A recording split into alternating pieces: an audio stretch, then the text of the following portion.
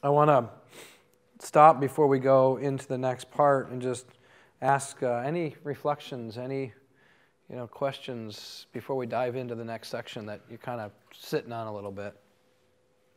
I'll give you a chance to do that. Otherwise, I'll just. Some people we spend a lot of time during the lunchtime going over some, but maybe you didn't get the chance to do that. You still want to. Otherwise, I'm just going to take us through the next part. So. All right, we'll go. Um, I want to just, first of all, encourage you, if you haven't done it, to, um, to make, make a de- have some kind of definition of what you mean when you say a disciple, and, and also what you mean by discipleship. And I've, I've found that a lot of times people don't really know what they're talking about when they say those words. So you say, hey, we're committed to be disciples who make disciples. Well, what does that mean?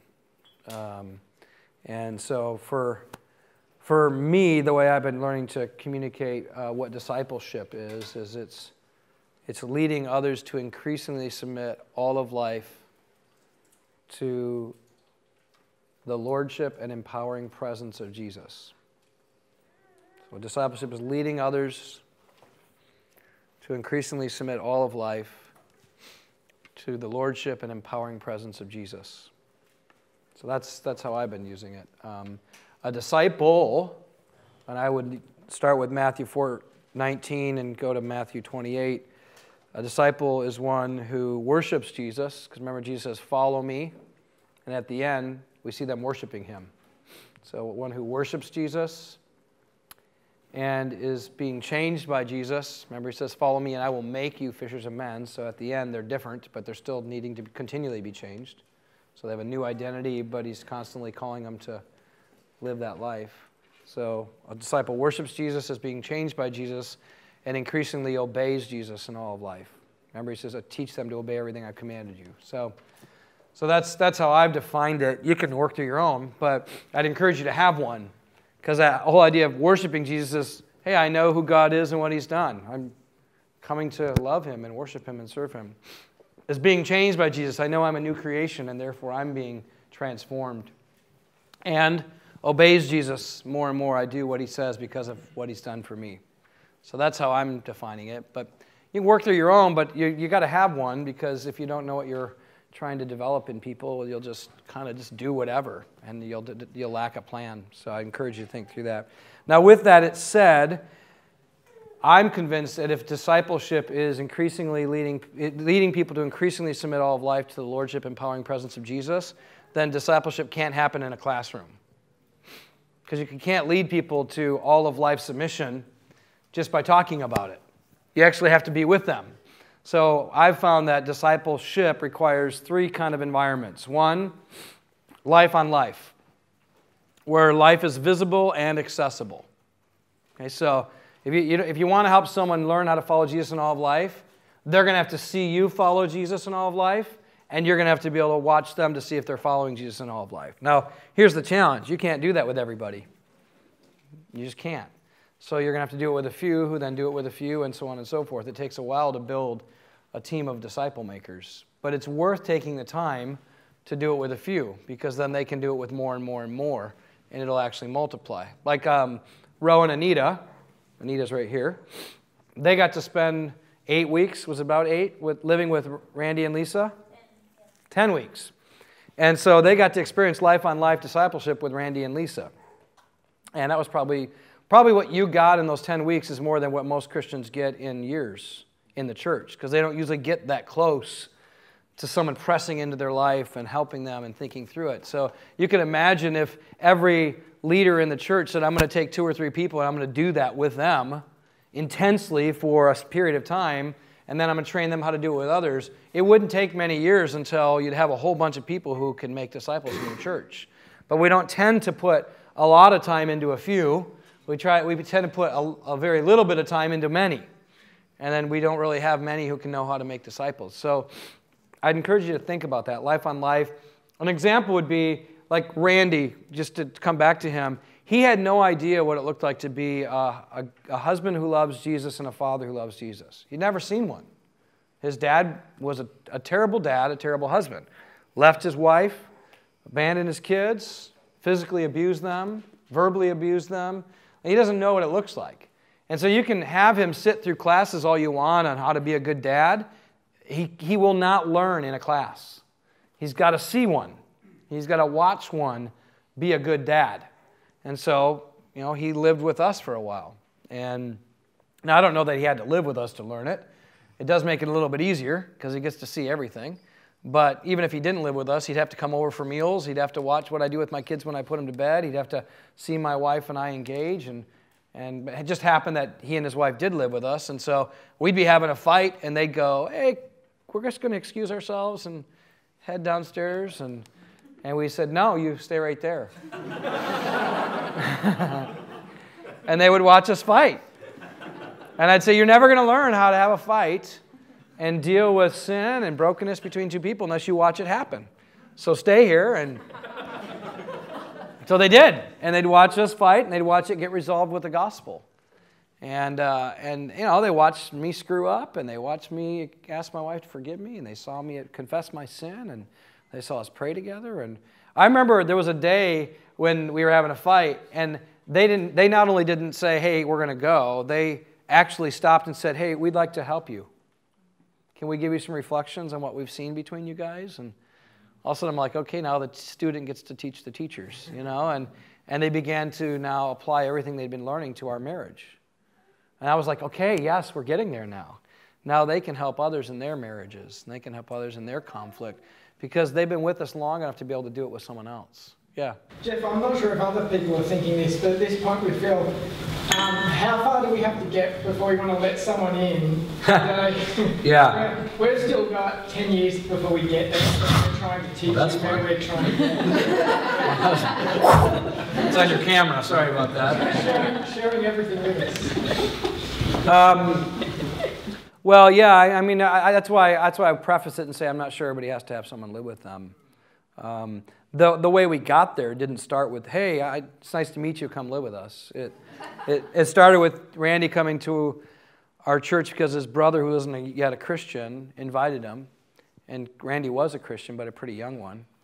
And um, Randy was, it was an interesting kind of spirit led moment because he would tell you it was the last, he was never going to come to our church gatherings ever again because he was so tired of hearing about mission and he saw this kind of teaching that engaged the people and would let people interrupt and he's just like tell them to shut up you know like you're the preacher they need to shut up and listen and he, he had a very kind of domineering like controlling picture of spiritual leadership and he thought that's what it should be like and I, we weren't doing that so there was a lot of things he didn't like about our church so he told me that was going to be the last day he ever came and the spirit very clearly told me go talk to him right now it was like it was one of those moments where the, I was almost like there was a light over the guy. You know, it was like I couldn't miss him. And so I went over and said, "Hey, let's sit down and eat." And we used, we used to have a meal at the end of our gathering, so we sat down and ate together. And and um, after that, it led to me, him saying he wanted to talk more. And so we started. I pulled him in to a couple other guys I was meeting with, and we started meeting weekly. And he was a real pain in the butt, to be honest. Like I, I wanted to punch him half the time because he was he, every, he pushed against everything. He was really arrogant. He thought he knew everything. Everything I did was wrong. Everything he did was right. And I just kept going, okay, well, open your Bible and show me where you came up with that. And, and he didn't have anything for it. And then I'd say, okay, well, how about if I at least show you why we believe this according to the scriptures? And I would bring them to it. We did that for probably three or four months. And then I met his, his girlfriend, Lisa, and uh, he wanted us to meet her. So we met her. And so then she started coming into our life, and they both started coming into our missional community and hanging out with us. And she started to hang out with my wife, and I started. I, he and I had started pray together a couple times a week, a few other guys, and and then pretty soon she, we were on our fire pit one night, and there was a young man who came to us and said, you know, I, think I'm supposed to live with you guys. I need a place to live, and I know you guys open up your home, and I, I'd love to do that. And Lisa spoke up. She said, I don't think he's the guy that's supposed to live with you. I think I'm supposed to live with you. And and so Janie and I went and prayed, and and the Lord made it really clear she was supposed to live with us. So we had her live with us. And uh, so now Randy's at our house all the time because his girlfriend's there. And uh, she didn't have a strong spiritual father, spiritual leader as a father. And of course, he didn't have a good picture of spiritual leadership. So their, their dating relationship was a mess. And there were several times I had to step in and protect her from him. I remember one particular time um, he kept comparing her to other women and kept saying, like, how do I know if there's not another woman out there that's more beautiful that I'm going to be attracted to other than her? And I remember when he said that, I said, You get out of our house and don't you ever come back and date her again until you can be convinced you're not going to look at another woman and compare Lisa to her. So if your eyes aren't only for her, then you don't get to be with her anymore. And I remember she told me, she told us the other day, she was rehearsing that story with the community. And uh, she said, That was the first time I ever felt protected and loved by a father. And she said, it's what, it's what changed our whole relationship. And then Randy came back to me and he said, I'm sorry. And I mean, I said, You got to talk to her. You got to tell her you're sorry. She doesn't need you to compare her anymore. So if she's, I said, You don't even deserve her, just so it's clear. Like she is beautiful and she is growing in Christ likeness, and you think that you could find better, you're a fool, man. This girl is amazing. So, like, you better honor her and protect her. We're not going to let you be with her anymore. And he, he heard it, man. And it was great because I saw a change in how he cherished her. And um, so then eventually they got married. And so this is like a year and a half by the time he finally moved in, maybe two years. And uh, he, they, so they didn't move, she, he didn't move in with her until they got married. And then they lived with us for a year. So it was a lot of time leading up to that. Um, and I suppose with that, part of my question is um, where we're journeying to, to, the point, or many of us are, that we're seeking to be living out the gospel in a way that we would want people to see. Your I see, yeah. And so, in part, so it's not just how long did it take, does it take to have a person that you're welcoming into your home. It's how long does it take for me to be a person who's willing to welcome anybody. Right, so we don't completely ruin something yeah. actually. Uh, oh, you guys won't. Uh, here's the thing I want to encourage you in: the the gospel is so amazing that when you're horrible, it looks great because you just need it. And so you go like, yeah, we're a mess around here. We, we love Jesus and we screw up all the time. And so like you get to boast in your weakness and that makes Christ look amazing. And when you get it right, you get to boast in Jesus because he must have done it. So either way, I, I think that's the thing that we got to get over that there isn't, there, I mean, if you, I remember one of the women who was in our missional community, it's so funny. I was going to put this in my book. My wife said it sounded a little self-serving, so I'm not doing that. But um, by the way, you'll just have everybody, have your wife read your book and tell her how much you, she hates it, and then you'll go home, get a humbled spot. She doesn't hate it. She doesn't tell me that, but she corrects me a lot. That's not how it happened. Okay.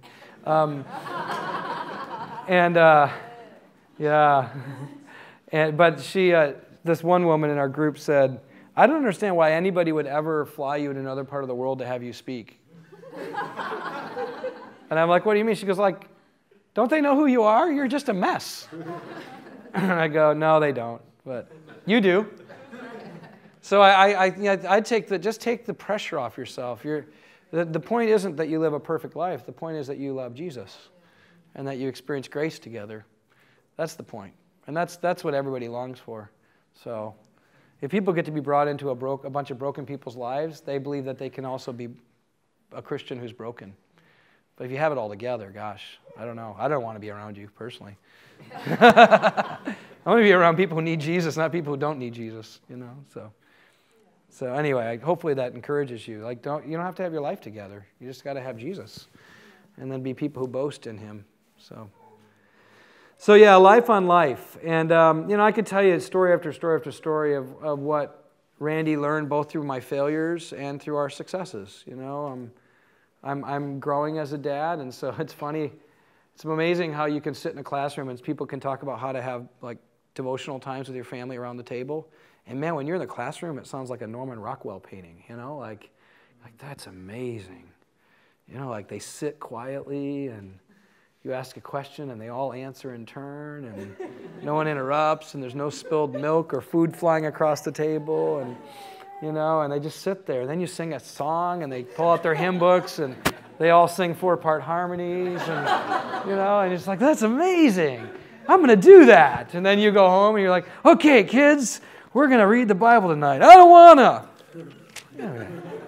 Okay, what do I do about that? Um, you know, and that's it's, it's not it's not what you think it is. It's hard. It's messy. And so, so how did Randy learn how to do daily devotions or times around the table with the, with my kids around the Word?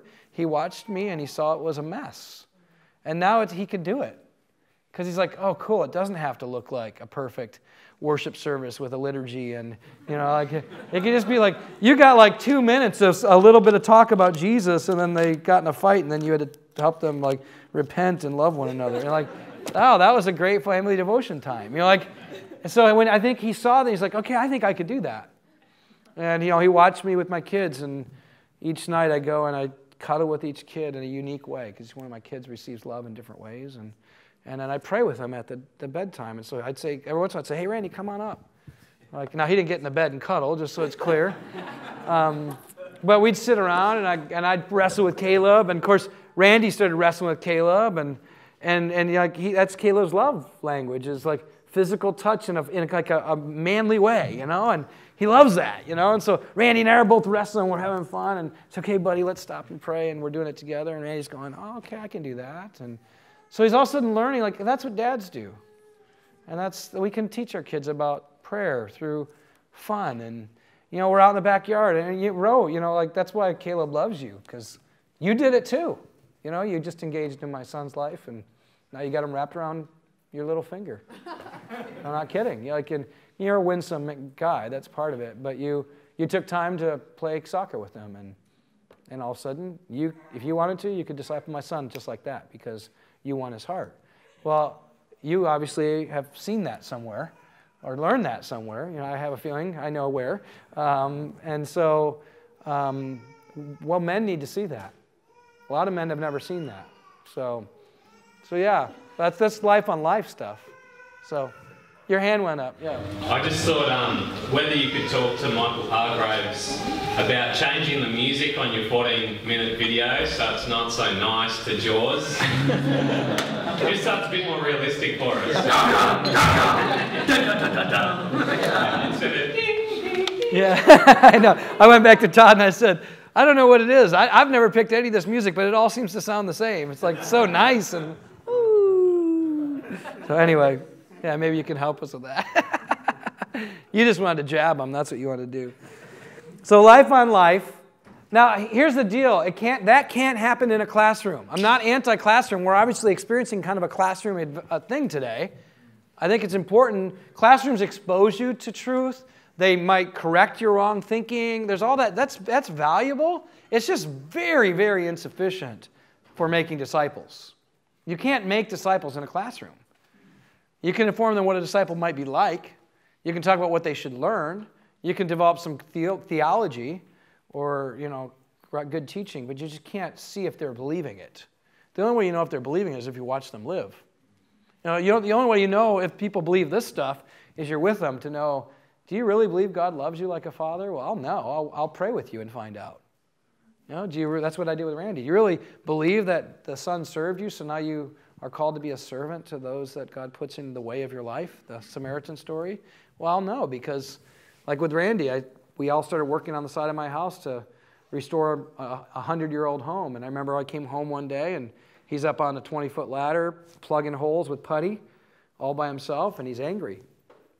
I said, How you doing, bud? I'm mad. Why? No one's here. Why, is, why are you angry about that? Well, people said they're going to be here. Well, so they aren't. They aren't here. Why does that make you so angry? Well, because they're not here. And I said, Well, you agreed to help out, right? Yeah. So you're doing what you said you're going to do, right? Yeah. So why are you angry?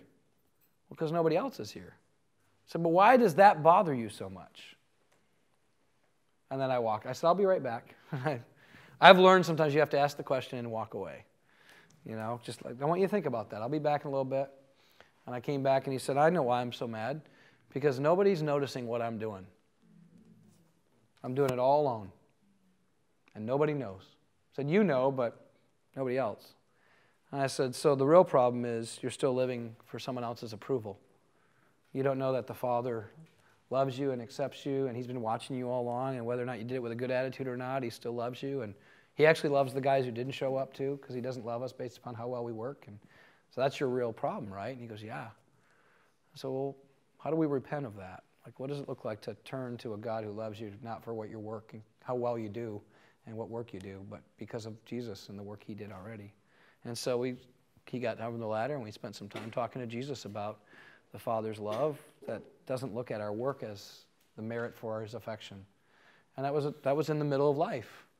The funny thing is, is the joke around our, the people that I get to pour my life into is they say I, I kind of, I'm kind of like a Mr. Miyagi of discipleship, you know, like people don't know they're getting discipled in the middle of the normal everyday stuff of life. And I just want to encourage you, look at everyday normal stuff of life as the best place to do discipleship. Because everybody can pretend like they believe everything when they're here. You know, when they're at a gathering or when you're talking, you know, you're in a classroom talking about walking by the Spirit, like, oh yeah, Galatians, I'm all into that. it's when you're walking with life and in life and you see that they don't know how to walk in the spirit because half the time they're blowing it and you know blowing a gasket and yelling at everybody and angry and so easily controlled by their flesh. And you go okay now let's talk about how do we walk in the spirit. Because that's where we want to learn how to do it is in life. And so i to encourage you like the classroom that you want people in is the classroom of life. That's the best place to train people. Parents you know this. Because the best place to train your kids is not at the dinner table though that's important it's when they're fighting with their, their brother or sister over a toy or when they're mad because they didn't get what they wanted. And that's when the real stuff is happening. So use those opportunities, create those opportunities. Second, it's life and community. If it would have been just me discipling Randy, who would Randy most look like? You. Me. Who do I want him to look like? Jesus. Jesus. How is he going to look like Jesus? He needs his body. He needs the body pouring into him and discipling him. The number of times, if Randy were here, he would tell you, I definitely had an influence on his life, but he would probably say my wife Janie maybe had a bigger influence in terms of the way she would speak into his life and confront him in some areas. And she just has a real prophetic kind of voice. Uh, that she has that kind of calling, and God really uses her, and He needed that because he's that he's got the same kind of calling. He's very prophetic in his abilities, and so God really used her to help grow him up in that particular gifting. And, uh, and not only her, Lisa, and I mean, I could, you know, Nikki, and a whole, whole bunch of other people that were in Randy's life got to pour into him and develop him. And he is a better man because of many people discipling him, not just one.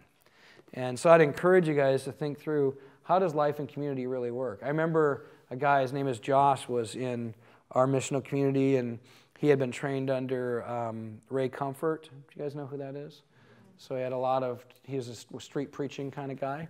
And he actually had a box and he would get on it and, and then he would, you know, start just yelling really loud and people would come and, and then he kind of tricked them into confessing that they had done something wrong and then he would tell them that, you know, well, because of that, you're going to go to hell and, but here's what Jesus did. And, and he said, and he, no one hardly ever accomplished anything. He'd always go like, I'd say, how'd it go down at the park? He's like, well, no one responded, but I did my job, so I'm innocent of the blood of the people there.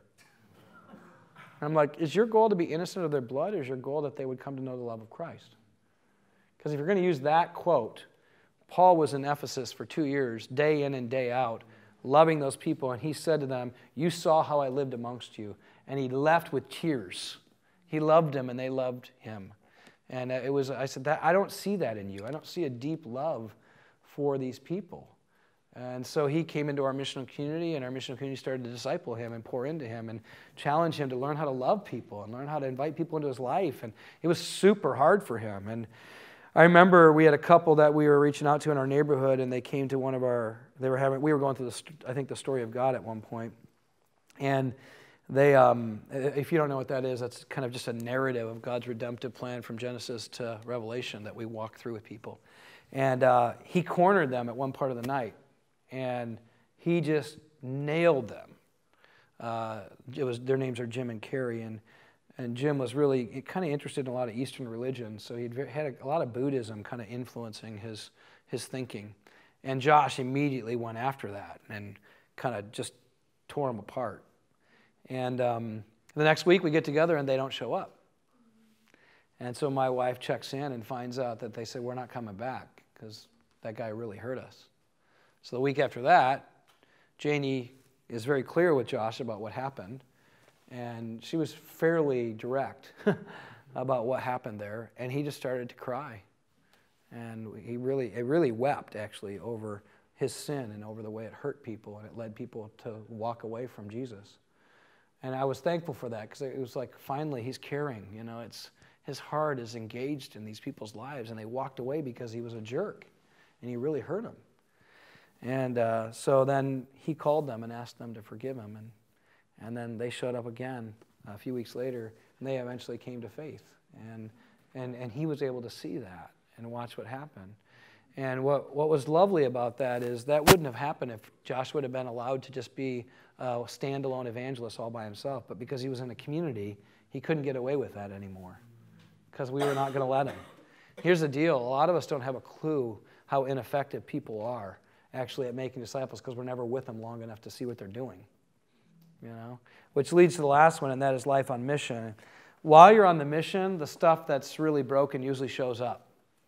That's the beauty. If you want to disciple people and you never ever make disciples with them, or they, you're never with unbelievers with them, or you're never you know, engaged in the, the stuff of training up people, you'll never really know how selfish and arrogant and insecure and fearful they are. That all shows up when you're with each other enough on mission. It's like if you just go, like a missional community is just a bunch of Christians who like to hang out together, you're still not going to find out how broken they are because it's still all about them. Once it starts being about someone other than them, then you'll start to realize how selfish we are. Uh, and all you got to do is go on a mission trip with a group of people. If you've ever directed one of those, you know, like, you know, everyone's like, it's going to be amazing. We're going to Costa Rica, you know. And I remember I took a group of students to Costa Rica, and you know, you train them in the language, and you, you know, you talk about how you're going to share the gospel, and you learn some crazy mime, and you know, a bunch of other weird things that we did, you know. And I like, still can't believe we did that, but. But you know, and then you take off and you land, and someone's luggage gets lost, and immediately, like, people lose it right? And then they, they get dropped off at their host homes, and you show up later that night, and they're like, they don't even, you know, they don't even realize I have a paleo that, or that I have a special diet that I'm, I, I can't have gluten. I'm a gluten-free guy, you know. And you see the bugs at their house? And like, man, I have to share a bedroom with somebody, you know. And all of a sudden, all of it starts coming out, right? I love that about a mission trip. And then usually it's about day two or three, and people are getting on each other's nerves, and they're tired, and they're frustrated and people have been mean to each other and they've told people to shut up i don't want to hear from you again you know and all, all the and you're if you're a leader you're like if you don't know what you're up to like if you think the mission was costa rica then you missed the point because all the people that you go on a mission trip to they don't even give you the best stuff they keep you out like painting someone's house that's far away from their mission because they know you're going to destroy it that's just the truth man like just so you know like you think you're doing oh we're coming in woo you're not. They're like, we don't even trust you guys. You're like, would you just let anybody come in and get really close to the people you've been pouring your life into? They don't either. So they, they usually keep you at arm's distance. The mission trip is for the people who are on the mission, not the people you're going to. That's really how it works. And so if you're a leader, you know that, and you're like, I'm waiting for it all to hit the fan, and then the real stuff's going to happen. Then we're going to talk about grace and forgiveness, and we're going to learn how to pray together, and we're going to learn how to be gracious and and patient. And we're going to we're going to realize how selfish and prideful we really are. And then we're going to talk about why are we so prideful and selfish and why did we think we were the saviors coming to Costa Rica when really we were the ones who needed the savior. And all that stuff starts to happen when you're on mission because all the stuff that's in the heart finally comes out. Don't you love it that Jesus wasn't didn't spend as much time just trying to put stuff into their heart? A lot of what he did with the disciples was trying to draw out what was already in the heart. Remember he says it's not what goes into a heart that corrupts them, it's what comes out of the heart. Um, and so, what was he doing? He was drawing out the heart because out of the heart flows the wellspring of life. You know, that's where it comes out of. And so, our job is to let the heart come out. And there's nothing like mission for making the heart show up because all of it will come out, I promise you. And as we keep talking through this today, just try and get a group of people to actually be united on a mission, and you'll find out how selfish and prideful and arrogant we are. I mean, it won't take long till the sin's going to show up. Now, the beauty is, the gospel is plenty sufficient to, to be great, bring grace to their problems and to remind them of who they are in Christ and to help them live out their new identity and not the, the, the flesh and the old one. So, so, life on life, life in community, life on mission. Hopefully, you're realizing already that you can't have this kind of growing in our identity and that kind of experience for disciple making if you don't have something that actually can contain life on life, life in community, life on mission. So, like a large group gathering can't do that by itself, classroom can't do that. In fact, let me back up. You can't even do one on one discipleship and get this. So, if you think one on one discipleship will create a fully formed disciple, you're, you're, you're fooling yourself because they're going to look mostly like you, and largely they're just going to learn how to parrot back to you the things you've taught them. And you don't know if they're living it, and you don't know if they could live with anybody other than you. And a lot of times they just look up to you And so they're just kind of like, you know, wow, I just want to, I want Jeff to be proud of me. And so yeah, I'm going to learn and I'm going to apply it. And, or, you know, I, I, he's holding me accountable. And so what do we do? It's like, I don't watch his life, but I hear about what he does all week long. I don't have a clue what's going on. I need to get in his life. and I got to see it. So, so you need something more than that. And that's why we landed for our own conviction on missional community. It wasn't, just so it's clear, it wasn't, hey, what's a new program for the church or what's a new methodology? It was saying the mission is making disciples who make disciples. We want to establish them in this so they'll live out this. How are we going to do that? And what's amazing is when you look at the biblical narrative, the household was the best way to do it. And the household in the, in the Bible was not just a husband, wife, and a couple kids, a picket fence, and a nice dog. It was a community that usually was anywhere between 25 to 50 people that were connected to one another. There was an immediate family, but then there was an extended family. There was, there was servants and household help, helpers. There was strangers that came from out and became a part of it. Household was much more than just husband, wife, and a few kids. And uh, when we read that, we read it in light of our Western view of family. When a, a Jewish person read that, they read it in light of their view of family, which was way bigger than ours.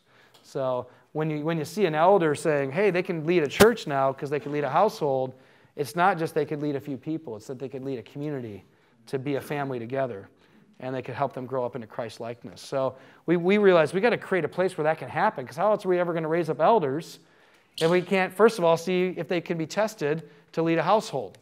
So for us, that's really what a missional community is. Let me define it the way we define it and then walk through what we believe it's not primarily. And I hate doing the negation of it but I've learned that even when I say missional community, some of you have in your mind a picture of something that isn't what I mean. So I want to try and clarify it. So we define it as pretty easy family of missionary servants sent as disciples who make disciples.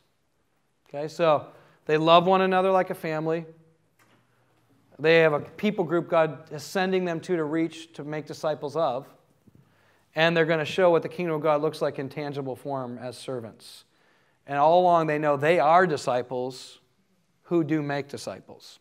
So, a family of missionary servants sent as disciples who make disciples. To clarify, I just want to be clear what we believe about missional community is that it's not primarily a small group. Okay, it's not just a smaller version of a big thing.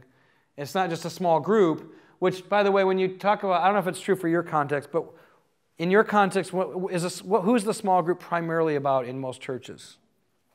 The Christians. the Christians, right. So that's when we say it's not a small group, it's not primarily just existing for Christians. Or I know at least the churches I was a part of that were larger, they put small groups in place as a form of kind of retention, you know, to they used to say to close the back door. You know, it allowed people to feel connected and not just, you know, not leave because they feel like they're not getting to experience community together. So we're not saying it's primarily that. Though it, there, there will be probably small, and there'll be Christians in it. Okay? We also don't believe it's primarily a Bible study. Okay? Um, they will study the Bible, they'll devote themselves to obey the Bible. But in many cases, at least where I'm from, I would bet we're fairly similar. Bible studies in most churches are people who get together and talk about the scriptures. They don't devote themselves to obey them together. In fact, if I were going to make a shift in a church that has small groups that study the Bible together, one big shift I would make, and I, it could change the group significantly if you just made this shift, is to say every time we study the Bible, we're going to ask, how are we collectively going to obey this while we're out in the world amongst unbelievers? That'd be one shift I'd make. How are we collectively going to obey this while we are out on the mission with unbelievers? Um, and the reason why I say that is because the Bible really wasn't written primarily to any individual, to be kind of other than maybe Philemon and Timothy uh, and Titus. You know, there's a few in there that are pastoral letters to a particular person, but even in those letters, it was to be, it was to be applied to a people. They were actually written to a collective community. And so the intent of Scripture is to obey it together, not to obey it as an individual. But so much of our individualistic Western worldview has taught us to read the Bible as though it applies to me instead of it applies to us. Okay, so like even when you read, like, don't, don't let the devil get a stronghold. Most people think that means be careful in your own spiritual life that he doesn't get a stronghold in your heart. It's actually referring to the community and how he wants to get in between us and divide us. And so it's a communal text about spiritual warfare. And so all of a sudden you go like, okay, how do we make sure he doesn't get in between us? And what we tend to do is say it's about me. So you, it's amazing how many Christians in the Western context read the Bible as a personal text to apply to their personal life. And the majority of it is meant to be applied in a communal sense to our lives together. Okay, that, that alone will shift you in a big way towards being a missional community. So let's apply it to us together. Then the second is remember Jesus when he says in John 17, Father, I pray for them that you don't take, don't take them out of the world, leave them in the world. And then what does he say will sanctify us? Is it removal? A lot of people think sanctification is being removed from the world. That's not actually what it means. Sanctification is being set apart for God in the middle of the world for God's purposes. Jesus says in John 17, Your word is what sanctifies them.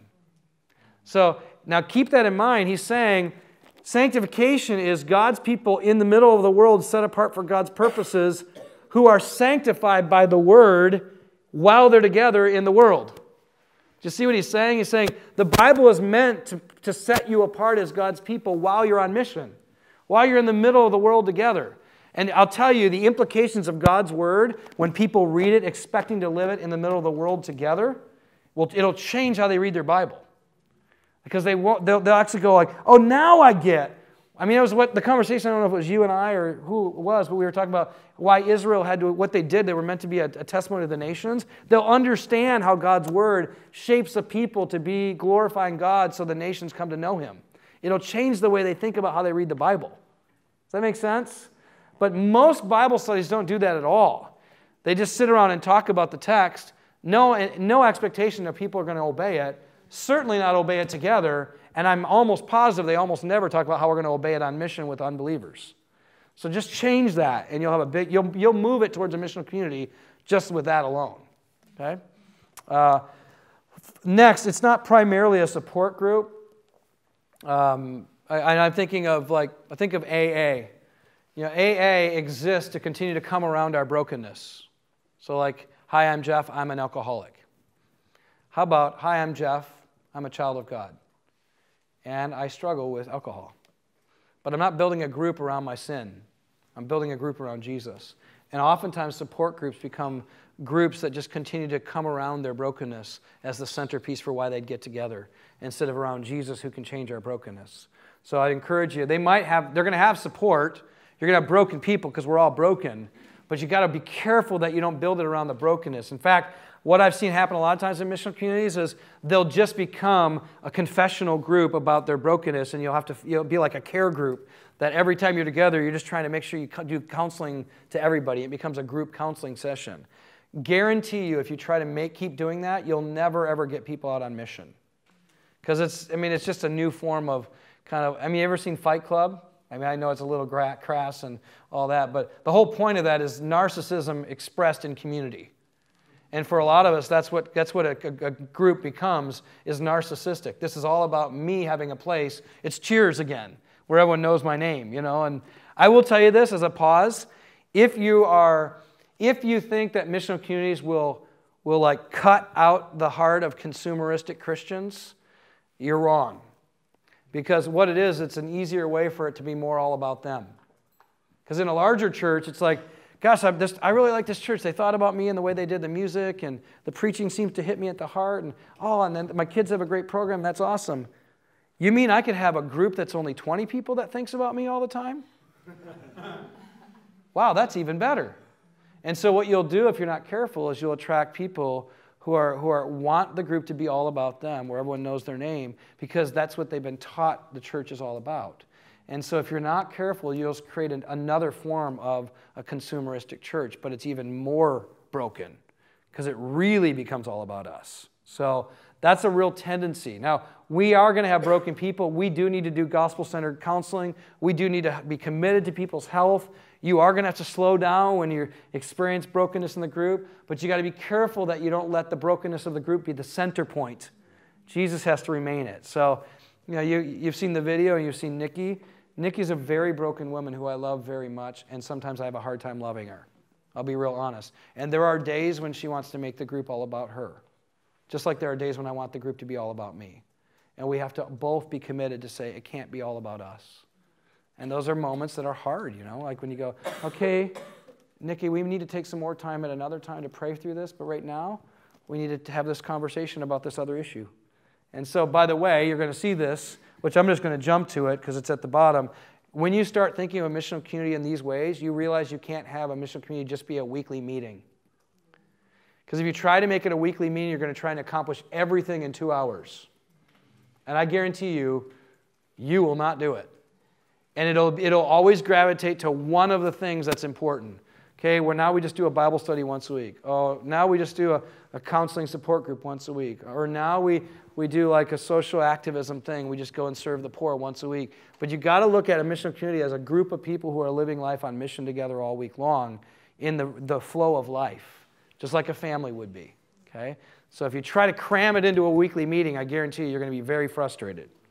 Um, so it's not primarily a weekly meeting. Um, and that, that, that, by the way, is one of our biggest challenges. I'll tell you, even, even for us, regularly, I'll hear people say, Are we having missional community tonight? And the way I respond back is, Are we having Vanderstelts tonight? In other words, the missional community is the missional community whether we get together or not. Um, for us in the summer, we change the pace of our life together as a missional community, and it's we just go, hey, let's just hang out and have cookouts and barbecues and you know late nights around the fire and some, have s'mores for the kids and let's just have a fun time. Can we just be that? And people love it. It's like not everything has to be a structured program. And I think when you can learn how to be with each other and love one another and just enjoy life together, then you get out of this meeting mentality and you start just being brothers and sisters. And sometimes you have to have a more formal, structured discussion or a, a study or a focused uh, event. But when you learn how to be together in all the ways of life, then, then you can have those and they can be what they are a limited time together where you try to accomplish one or two things. But then people don't feel like, gosh, that wasn't a very good night because we didn't we didn't disciple our kids and we didn't pray for healing and we didn't counsel anybody and no one came to faith and there wasn't a Bible study and we didn't have a worship time. And you know, you're going like, how am I going to pull all this off in two hours? You know, I can't. And so then you relax and then you get to be the church. And you know what's amazing is the early church, they, they had a kind of a life that was flowing together in all kinds of ways. I mean, they, they enjoyed life. Man, how fun would it be if we just enjoyed life together? Yeah, we'll get to that a little bit. Yes. I was just thinking, this to me sounds a bit like a little village. Yeah. Like that's the way I'm seeing it. Yeah. Just a, it's just a community of people that you live with, so you help out in the garden, or so and so has some veggies to give to you, and then you have some like it. Yeah.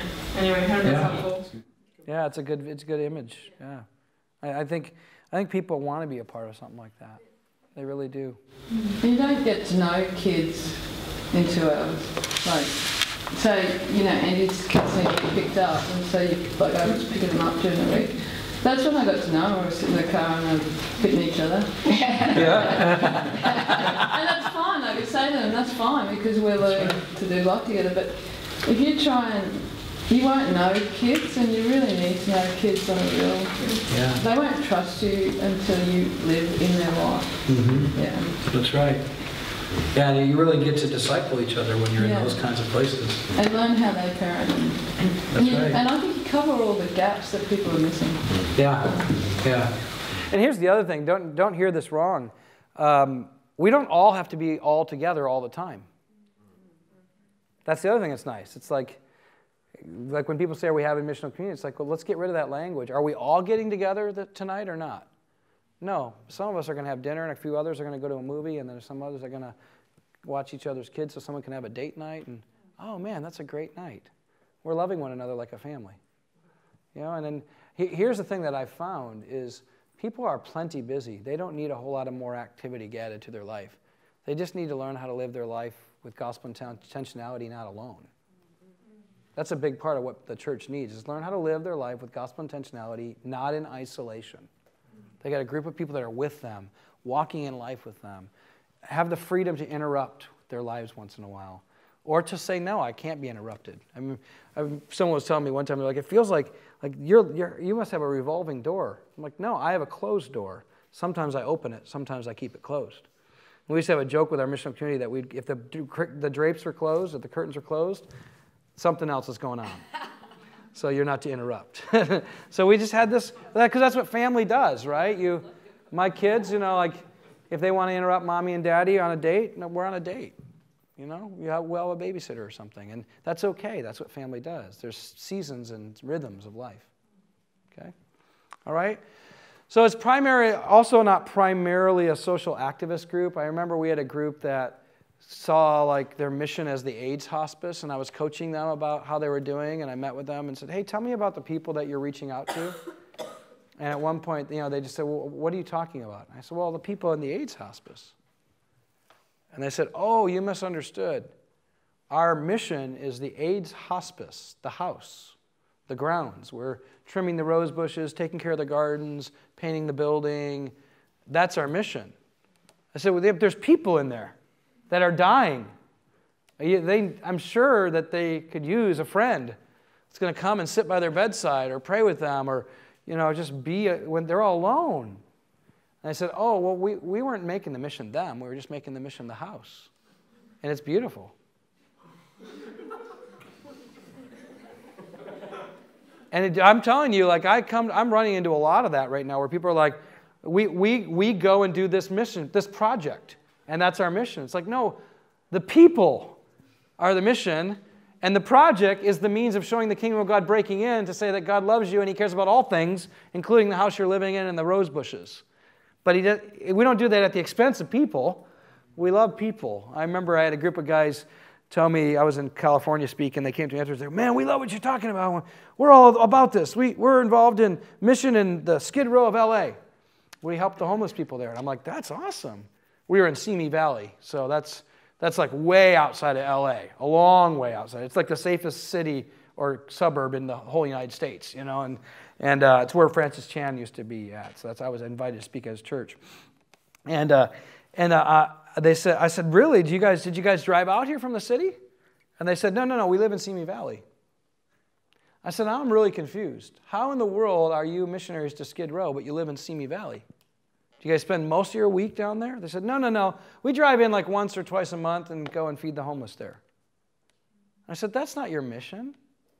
You can't be on mission to a group of people you don't know and you never live with. If you want to be on mission there, you're going to have to move and be there amongst them long enough to actually get to know them. And I said, It sounds to me like your mission are the people who are driving to Skid Row and the people who are driving back. You're discipling them on how to care for the poor. And that's okay too. Just don't call Skid Row your mission okay? Because it's not. It's good that you're doing that kind of service and you're teaching people how to feed and care for those who don't have as much. That's great. Now, there's probably some things we need to confront about that because there probably was maybe some self righteousness and savior mentality that kind of slips in, I think, to a lot of us Christians who like to sweep in and be the answer and then leave.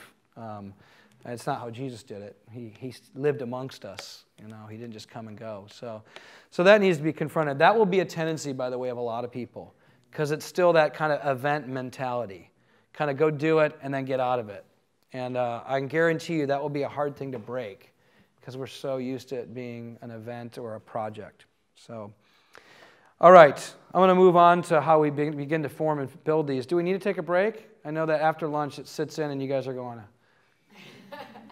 you know, I know that happens. Are we okay? You want to take a little break? Stand up, stretch break? Let's do that. Uh, so 2:30, we'll be back again.